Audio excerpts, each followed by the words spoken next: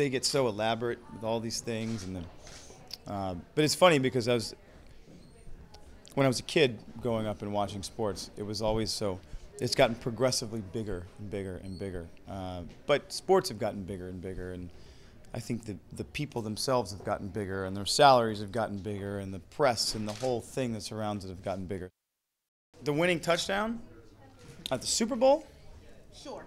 Sure. Okay. So that's that's kind of a big one.